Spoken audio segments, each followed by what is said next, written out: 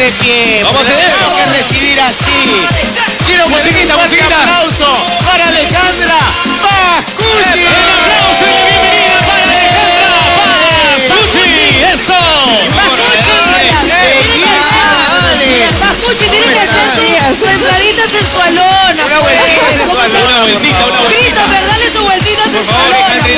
Eso. Ahora sí cargamos las vueltitas. Ahí está. ¡Ay, Dios mío!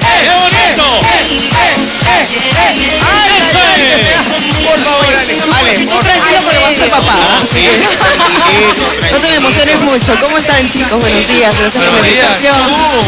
Súper bien, contenta y orgullosa de ser mujer.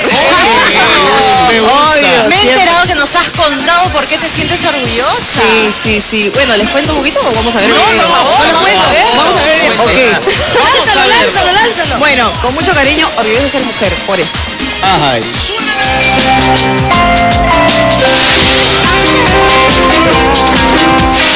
Alejandra, ¿por qué te sientes orgullosa de ser mujer? Me siento súper orgullosa porque creo que a las mujeres no le damos chance de estar mal. Siempre somos fuertes, siempre estamos demostrando que somos fuertes, que podemos seguir adelante, sobre todo por, por ser madres.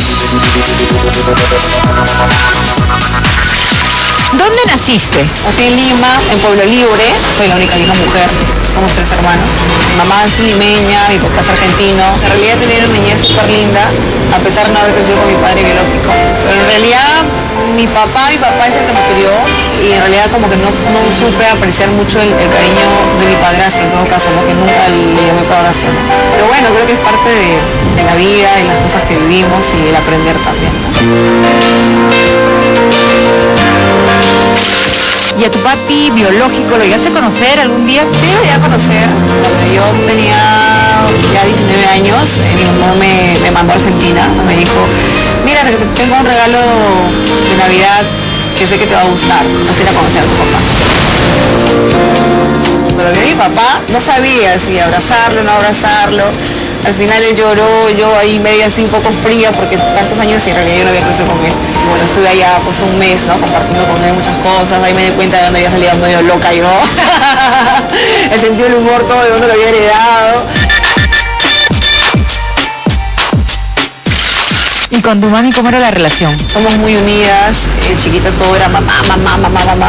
Con eso ya no me no, como que no me quería apoyar mucho en el tema artístico, porque ella siempre quería pues que yo estudie y que me haga una carrera y todo el tema. Estudié, hice mis cosas y cuando ya le dije, mamá, ¿sabes qué voy a cantar? Y me vio para un escenario cantando, se olvidó de todo lo que me dijo antes y hasta ahorita está, es creo que la fan número uno que tengo.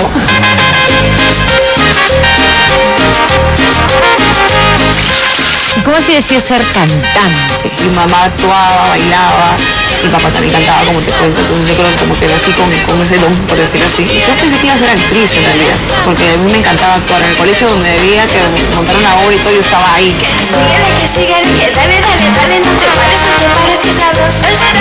Termino el colegio, estudio, estudié visión comercial. Este, y bueno, hay una prima este, que también le encantaba cantar. Me dice, oye, hay un concurso en un lugar. Me dice, vamos. Y quedé queriendo, entramos al concurso, llegamos a las semifinales, a las finales, al final llegamos en segundo lugar. Obviamente me, me- me vieron, hay un productor y me, me y me dice, oye, vamos a hacer un grupo. Me acuerdo que se llamaba Las Románticas. Quiero más, próxima, es muy difícil vivir sin tu calor. Y luego de eso este, entro a cantar una orquesta. Esta es una orquesta donde me ve este, un productor pues, ¿no? de cumbia y me jala pues, a, a uno de estos grupos que, que ya pues, son conocidos ahora también. ¿no? Y ahora me dices que no va, no va, no va, que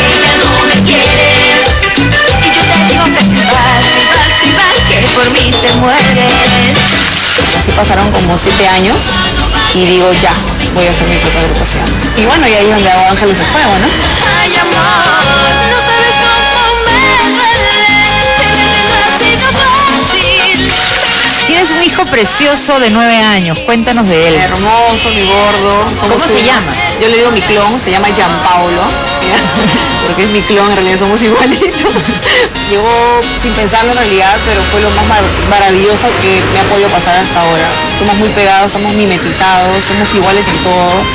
Eh, somos los dos, ¿no? Yo, yo soy papá y mamá para él. No, no es fácil, en realidad no es fácil, pero ¿sabes qué? Por mi hijo, o sea, lo que sea.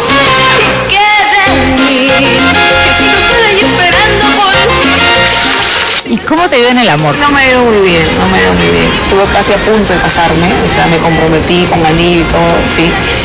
Y la relación hace dos meses tuve que terminarla por completo porque no, o sea, no fue la persona que yo, yo pensé, ¿no? Estoy convencida de que es también el mundo en el que yo estoy. Uno piensa que es amor a ti y al final no es amor a ti, es amor de repente a lo que pueda obtener de ti. El amor de mi vida no está a mi alrededor en realidad, está en otro lado, no sé si, no sé en dónde, pero en otro lado, ¿no? Si yo me vuelvo a enamorar, mi corazón voy a cuidar. ¿Cuál es el momento más difícil que te ha tocado vivir? Bueno, la muerte de mi papá, sobre todo porque él no falleció acá, él falleció en Italia, no pude verlo, no pude ni siquiera llorar a su lado.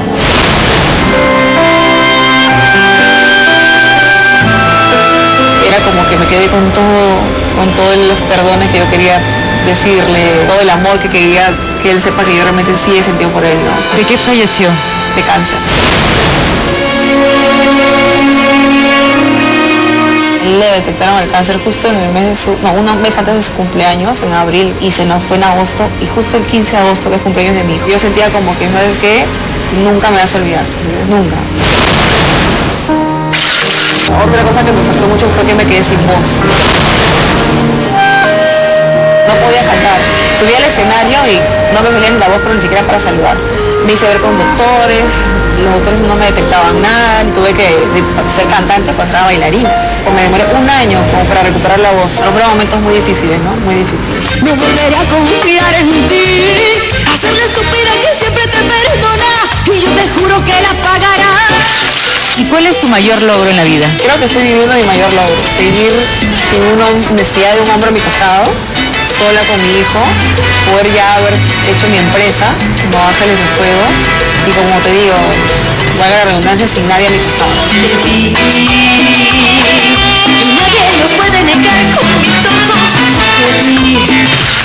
¿Cuál es el mensaje que dejarías a todas las televidentes que te están viendo en este momento?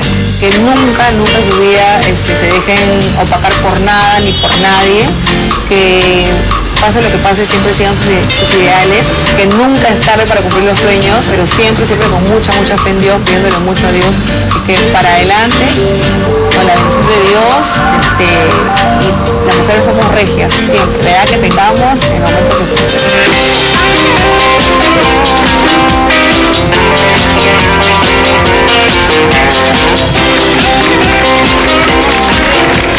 Buena, buena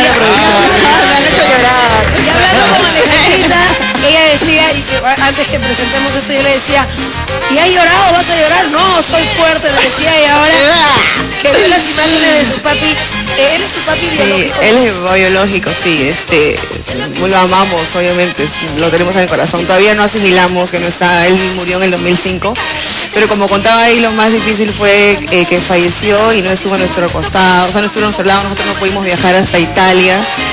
Eh, murió solo, ¿no? En realidad murió solo. Mis hermanos estuvieron con él, pero también por motivos fuertes tuvieron que volver. Entonces este, se quedó solo hasta los últimos días, ¿no? Y bueno, con muchos perdones de ambas partes. Él hacia mi mamá por un montón de cosas, yo hacia él, o sea, fue una cosa que se- no nos esperamos y que no pudimos cerrar, ¿no? Pero bueno, ¿Lograste decirle todo lo que querías decir? se lo dije en una carta, se lo mandé en una carta, ¿no? Le mandé una foto, le dije, pero no es lo mismo una carta, pues que, que- En realidad uno tiene que permitirse pronunciar palabras que son importantes. Sí, como el yo quería ¿no? abrazarlo, besarlo y Una no palabra tan, grande y tan no es fácil lo que significativa. has pasado. O sea, no viviste con tu papá, te crió tu papá, o sea, otro papá, no tu padre biológico. Y un poco le pasa a, a tu hijo lo mismo. Claro, eh, algo similar, pero en el sentido de que no está su papá biológico, ¿no? Pero yo crecí con mi papá, ¿no? Que me crió. Eh, en cambio, en, esta ocasión solamente Jean Pablo me tiene a mí, nada más, ¿no? No tiene a nadie, una imagen paterna ni nada, ¿no? Pero imagino que tendrá muchos afectos también de la familia. Claro, mucho- eso sí, eso, es sí nunca falta, ¿no? El amor sí nunca falta. Me acabo de enterar que tú eres hija de Pilar Pantoja. Ay, sí, un visto para mi papá.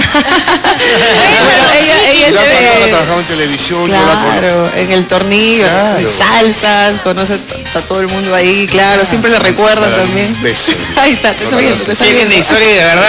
Que, que- que yo siempre digo que este, este segmento que nosotros tenemos nos, nos permite conocer un poquito más a los artistas y poder conocer un poquito más la sensibilidad de cada artista. No, gracias muchísimas ustedes. por- Más bien yo en realidad estoy agradecida a Dios porque yo siempre me pongo en el lugar de repente a, me pongo a pensar que hay gente que realmente sí la pasa mal, ¿no? Entonces las cosas que uno pasa a veces quedan en pocas cosas, entonces eso me da fuerzas para seguir adelante.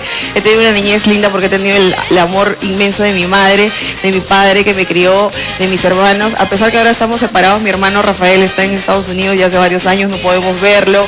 Mi hermano Gianfranco también estamos separados, pero siempre unidos, ¿no? Una llamada. Y el amor de la familia Y el amor de la estar Y lo que queda claro es que tienes muchas razones para sentirte orgullosa de ser mujer. Eso es. Exactamente, por supuesto, gracias. ¡Un aplauso! Ale, te cuento. Quiero agradecer a Alejandra, muchísimas No, gracias por estar acá. Gracias. Toda la suerte del mundo para tu carrera, que estamos segurísimos que te va a ir súper, súper bien. Gracias, ya saben, número para contratos el 407 asterisco 9456 y 985611500. Estamos celebrando este 12 de noviembre nuestro aniversario, segundo aniversario, junto al Día del Taxista en el Club Taxi Rey Motos de San Juan del Origancho, completamente gratis, va a estar Candela, Ensamble, Candela Ensambles, hacemos Sacramento, va a estar también animando a Nelly, bueno, show de mediodía apoyada. Chelas, uy, Oscar, pero bueno, Muchos regalos para los taxistas, amigo taxista, muchos regalos, descuentos, que no pueden. Mi reina, manda tú el corte que te digo. Pero espérate, paraditos bailando, vamos. Pero, eso, eso. Mándalo, mándalo. Vaya, vaya. No se muevan, por favor, porque venimos con mucho, mucho más aquí en Hombres Trabajando.